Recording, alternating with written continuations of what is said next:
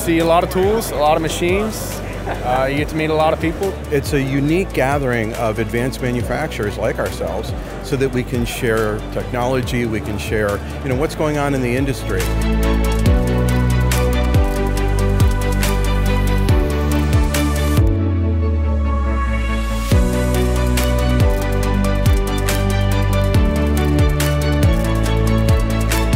I'd say it's a great opportunity to see everyone's latest and greatest, right?